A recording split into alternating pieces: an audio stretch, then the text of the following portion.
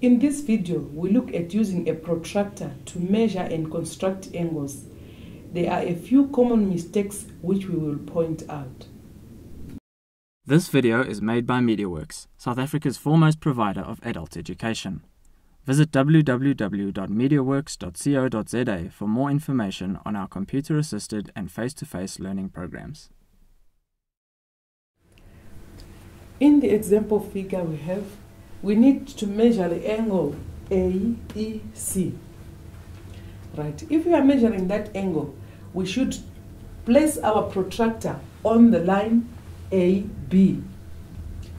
Be careful not to place your protractor above the line because you are not going to read your angle correctly.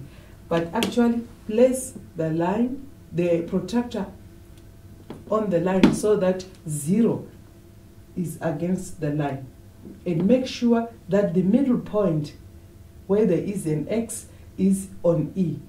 So you are going to read the angle of your angle.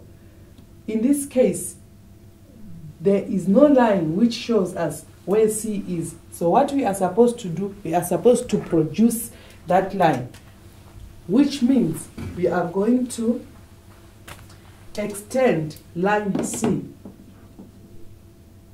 In mathematical terms, that is producing it. So now we can measure the angle AEC.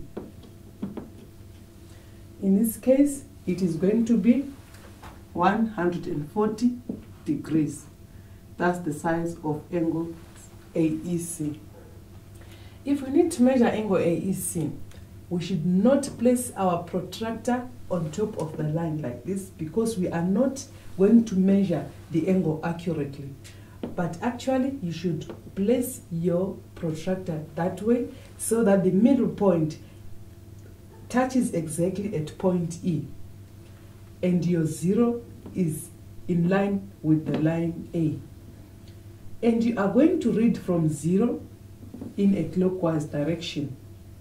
You should not use the inside figures which starts from 180.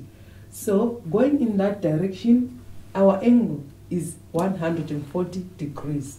So angle AEC is equal to 140 degrees. To verify that our answer here is correct, 140 degrees, we should also measure this angle. We know that angles on a straight line, they should add up to 180 degrees. So if we are correct here, we should have 40 degrees on angle CEB. Let's measure that angle. In this case, we are going to read from this zero.